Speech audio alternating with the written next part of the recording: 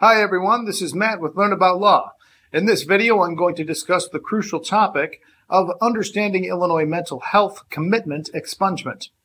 As mental health awareness continues to grow, it is essential to be well informed about the legal aspects surrounding mental health treatment, particularly involuntary commitments. The Mental Health Procedures Act in Illinois governs involuntary admission and treatment for individuals with mental illness. It outlines the legal criteria and processes involved in involuntary commitments, which can have far reaching consequences on individuals' lives, affecting employment, housing, and firearm rights. Expungement of mental health records in Illinois is a possible relief for those who have experienced involuntary commitments and wish to move forward with their lives.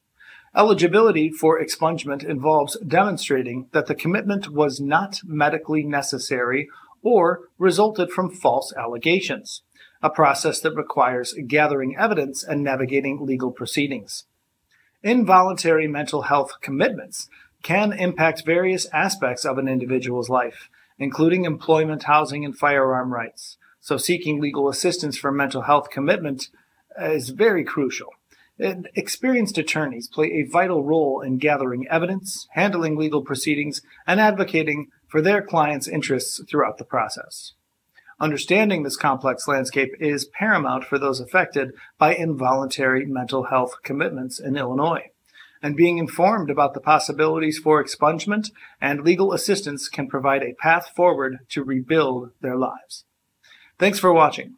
To learn more, check out the article linked below. Be sure to leave any questions you have in the comments section and subscribe for more legal news daily.